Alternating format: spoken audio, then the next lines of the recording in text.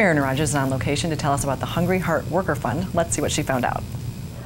This is Maren Rogers, and today we are here at downtown Deli, right in the heart of Bluffton, 1223 May River Road, and just wanted to share a little bit about what the downtown Deli family has been doing to continue business and also be there for our community.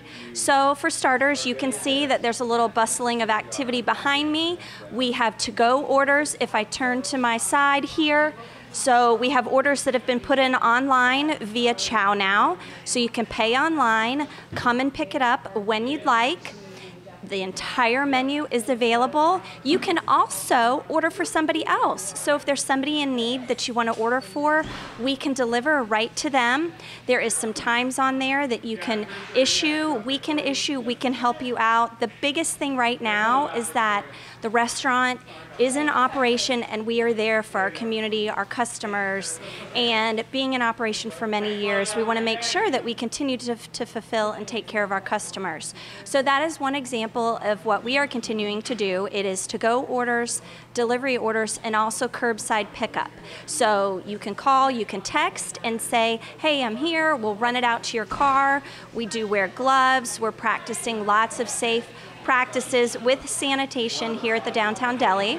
And then also we have a large supper club business. So supper club is Monday, Wednesday, and Friday we have just added where you order online pay online. There are three meals that you can choose from.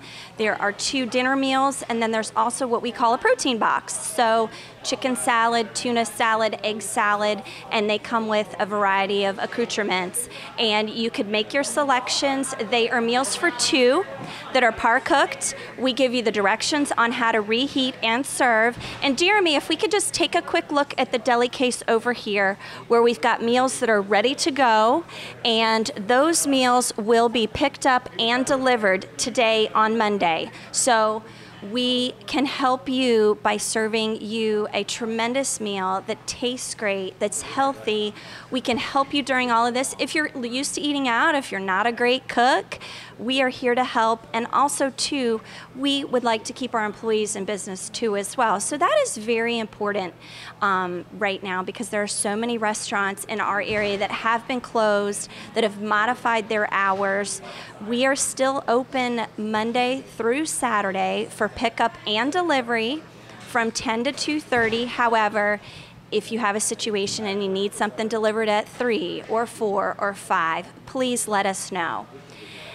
And then lastly, I'd like to say if you have a business, if you're a business owner, if you'd like to give to a business, if you'd like to sponsor lunches or a dinner for a healthcare worker, for an ER, for I was on the phone this morning with one of our hospitals and for their clinics, for their clinic teams.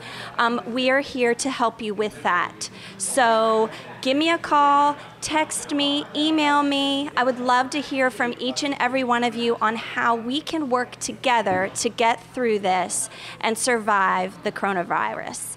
Next up, I'm going to invite our business owner from Downtown Deli and Downtown Catering, Leah McCarthy. She is going to share more about what we are doing at this point to help our community with Hungry Heart.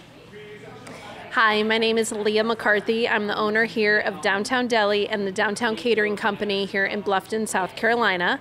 Want to tell you a little bit about our Hungry Heart Restaurant Worker Relief Fund that we created in conjunction with Lowcountry Strong Foundation. This fund is going to be a two part project one, where we're putting money back into our local restaurants, and two, we are being able to give back a free meal to any restaurant worker who has been affected through the COVID 19 crisis. So, what we're gonna uh, release every single day is a calendar of which restaurant is gonna provide that free meal. So, for instance, this evening in Bluffton, New York City Pizza is giving free dinner to any restaurant worker in need. All that worker has to do is go in and mention Hungry Heart or Lowcountry Strong, and they will get that meal for free. And then in return, our foundation will pay the restaurant for that meal, reimbursing them.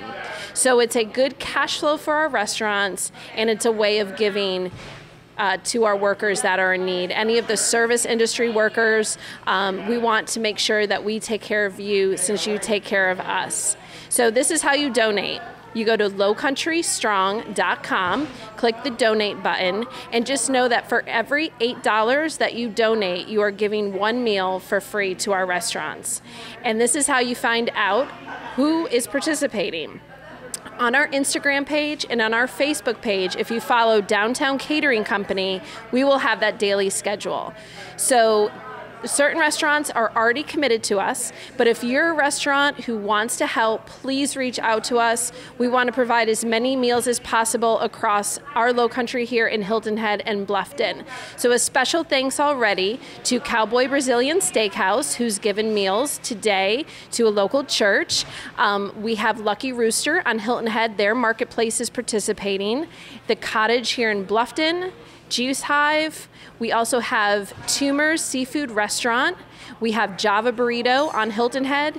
And again, this evening we have New York City Pizza in Bluffton and right here at Downtown Deli for lunch.